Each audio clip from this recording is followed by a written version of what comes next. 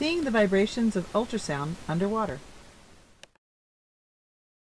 This next video will show how the bubbles come out of the ultrasound head so you can see how the sound waves travel. It'll prove to the patients that the sound wave works in case they ever wanted to know.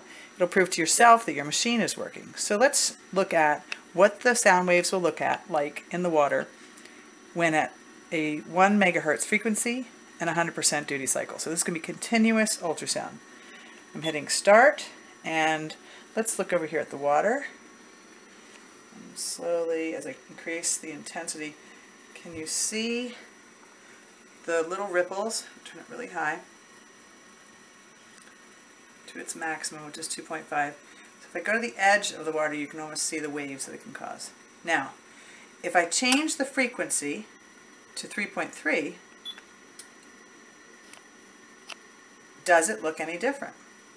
Now 1 megahertz is for deep into the tissue, 3.3 is for shallow. We'll turn it back to 1. So you saw, interestingly, 3.3 looked a little bit more vigorous, but the big thing is now let's look at the duty cycle. This is a 100% duty cycle. This is continuous ultrasound, therapeutic ultrasound, causing heat. If I bring this down to 10%, you can barely see it. I'm going to bring it up to 20%. Can you see a little bit of pulse right there?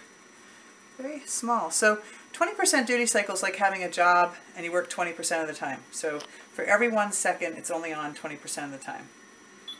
Now I've switched it to 50%. It's getting more obvious. There's more vibrations. And this is 100%. So the more the vibrations, the sound waves going through, the more that the tissue will vibrate and feel, and the person will sense heat due to a mechanical movement of the cells. So this is a uh, this is by the way a great example of two different conversions of heat. You have electricity going through the crystal, going through the reverse, reverse piezoelectric effect, which then puts out the sound waves. So there's a conversion right there. And then when it goes into the human and causes heat, that's a conversion again, mechanical causing heat on the human. And that's it.